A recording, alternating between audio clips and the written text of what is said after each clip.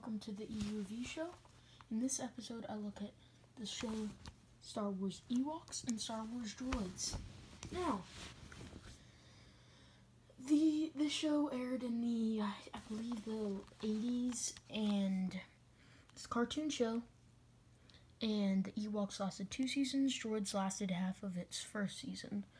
So here we have the Star Wars logo and the Ewoks logo, Droids logo. Says the complete series. Now this is of course a bootleg. They only released VHSs and then later on DVD they released literally like two episodes from each series. So I've got every episode from both series. And on the side it says Droids in Ewoks, the complete series. This is a bootleg Blu-ray copy, so it's really nice. Lucasfilm Blu-ray no, Nelvana. It's the company that produced it. So then, lists you all the episodes here. So there's that, and as a bonus, get the holiday special cartoon.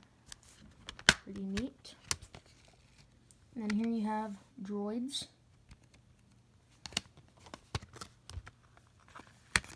And Ewoks Season 1 and Ewoks Season two. So I was really, really happy to receive this. Uh, to, to buy this. Um, uh, I got it on eBay for, what did I? Uh, I think it was twenty nine ninety nine. I think you can get others like this, but there are lots of bootlegs out there.